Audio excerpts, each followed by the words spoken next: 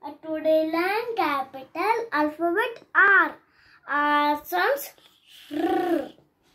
Okay, what is this picture? This is picture of rabbit. It's very softy, softy, fluffy, fluffy, and it's animal in lives in animal. Eat Okay, what is this? This is a rocket.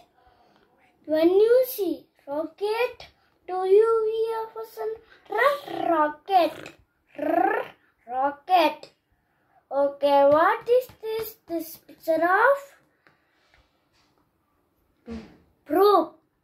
When you see rope, do you hear person?